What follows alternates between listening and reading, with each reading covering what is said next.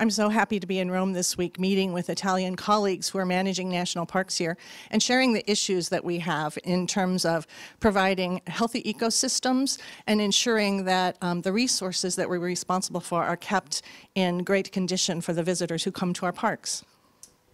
And can you tell us what is the initiative in the park system that has to do with this year's expo in Milan? So we have issued guidelines that are asking our concessioners who provide food service to use sustainable methods of acquiring their products and making sure that they have menu items that meet the nutrition standards that are important for healthy, uh, healthy constituency.